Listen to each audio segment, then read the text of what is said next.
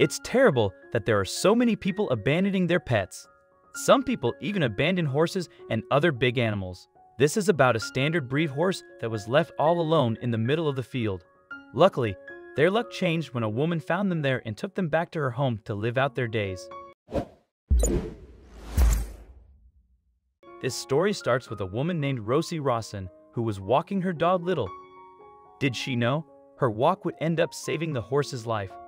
The woman didn't like walking her dog through crowded parks and she decided to take a stroll on the green. As she was walking her dog, she spotted something weird looking in the middle of the field. What could it be? Curiosity got the best of Rosie and she went to check out what was moving in the middle of the field. It was a horse. After seeing the horse's bad shape, Rosie instantly called the local vet. Rosie knew that the local vet is renowned for how good he is at making horses feel better and she called him instantly. The vet told Rosie that he was going to arrive in less than 15 minutes. Check out what the woman did next. The horse's health was in such a terrible state that he couldn't get up. This is why Rosie hurried to her car to grab some water for him. The horse wasn't shy at all and drank the entire bucket of water. In a matter of seconds, he was really thirsty. The vet finally arrived and he didn't come alone. He got some people to come and help raise the horse because he didn't have enough strength to do it all by himself. Do you think they managed to get the poor animal to safety? Despite not being fed proper food, the horse was still super heavy. The men just didn't have enough power to get him up. You won't believe how they managed to get the horse up. Luckily, a local horse rider heard about what was going on, and he brought one of his own horse rugs. The vet and his friends used this rug to get the horse up. After they managed to pull the animal up, they couldn't believe their eyes. The horse was finally back on his legs.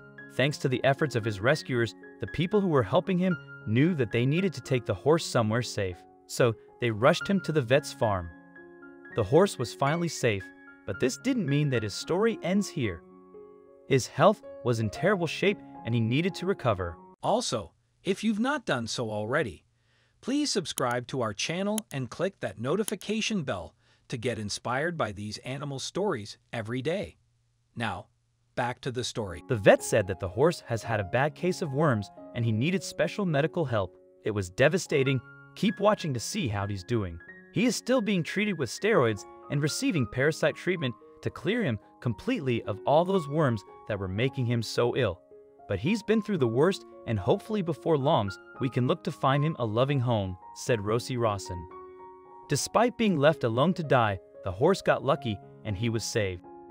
Although if you think this story is terrible, then you won't believe what I am about to show you next.